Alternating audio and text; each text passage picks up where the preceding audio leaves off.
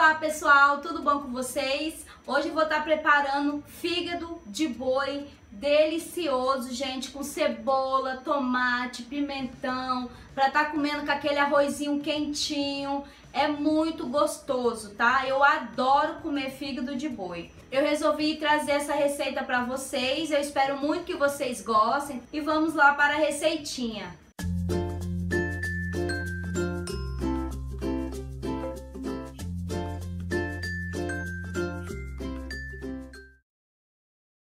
Pessoal, eu vou começar mostrando como que eu tempero o meu fígado, tá bom?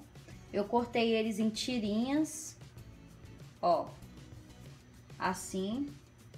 O meu fígado, ele veio bem limpo, não veio sujo não. Tem uns que vem com as pelinhas agarradas dos lados assim, ó. É bom tirar, tá? Pra deixar ele mais molinho. Agora eu vou temperar eles para ficar bem gostoso e bem saboroso, né? Eu vou estar tá utilizando três dentes de alho, é três dentes de alho grande, colocar aqui.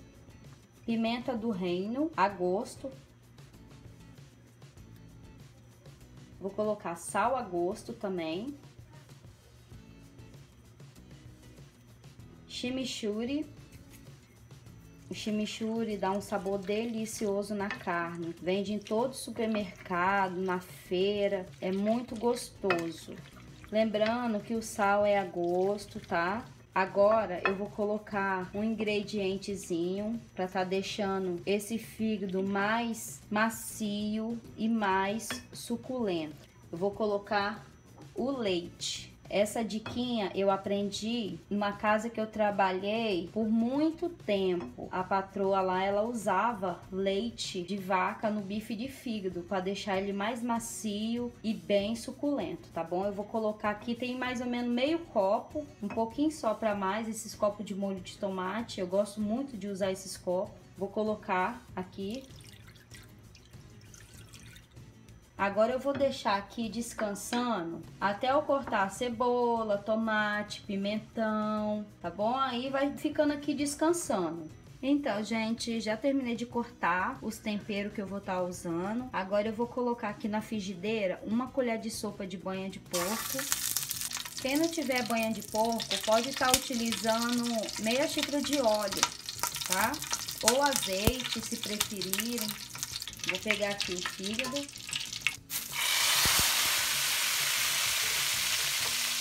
Vou deixar fritar. Até começar a é, dar aquela crostazinha no fundo da frigideira. Então, aquela crostazinha que dá, ela dá um sabor delicioso depois no final, tá, gente? Então, é bom fritar bastante até dar aquela grudadinha no fundo da frigideira. Eu não mexi da hora que eu coloquei aqui. Eu vou dar uma mexidinha agora. Ó, já tá começando a grudar. Vai ser a primeira vez que eu tô mexendo. Lembrando, eu vou deixar os ingredientes na descrição do vídeo.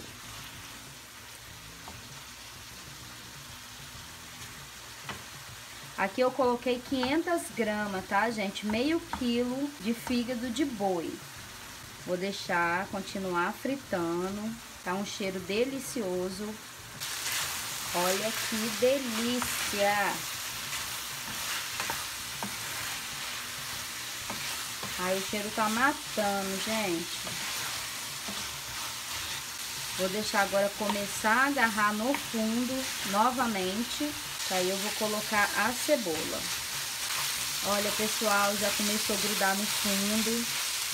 Agora eu vou colocar a cebola.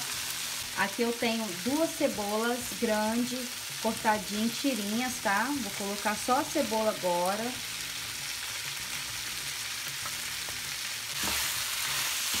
Vou mexer um pouquinho. Vou provar o sal. Pegar só um pedacinho. Hum, tá delicioso, muito temperadinho. Agora eu vou colocar o pimentão. Aqui tem um pimentão médio cortado em tirinhas, tá? E aqui eu vou usar dois tomates com semente e tudo. Vou colocar aqui, dar mais uma mexidinha. Agora eu vou deixar aqui, dar uma refogadinha pra soltar mais essa crostinha aqui do fundo, ó, pra misturar junto com os temperos que eu coloquei agora, tá? Porque o tomate ele solta água, a cebola solta água, então vai dar um molinho gostoso. Ó, tá vendo lá, ó? Solta água. Só até murchar, tomate murchar, pimentão murchar, aí tá pronto. Muito fácil de fazer, muito gostoso. Olha, pessoal, como que tá já. Já tá pronto. Olha. Vou colocar cebolinha verde. Aqui tem um massinho de cebolinha verde. E tá pronto. Que delícia. Só se servir agora. Vou me servir e vou provar pra vocês. Preparei um pratinho aqui para estar tá provando essa delícia. Meu arroz ele tá meio amarelinho porque ele é parborizado, aí ele fica meio amarelinho. Aí aqui tem uma saladinha de tomate com cebolinha verde. Olha, gente. Hum, muito gostoso. Pessoal, aqui na minha casa eu faço cortadinho assim, ó, porque é melhor para meus filhos comer mas quem quiser pode fazer bife, que fica delicioso também, tá bom? Então, gente, essa foi minha receitinha de hoje. Eu espero que vocês tenham gostado. Se vocês gostaram, deixa o like, comenta o vídeo, comenta se gostou, pode comentar também se não gostou. O importante é comentar nos vídeos e curtir também, tá? E se você aí que tá assistindo não for inscrito no canal, Inscreva-se no canal, porque o canal está crescendo, para você estar tá fazendo parte da nossa família. Eu quero agradecer também, antes de finalizar o vídeo, eu quero agradecer pelos comentários carinhosos que vocês estão tendo comigo, tá bom? E eu tô lendo todos os comentários. Eu espero muito que vocês tenham gostado. Um beijo para todos vocês e até o próximo vídeo. Tchau!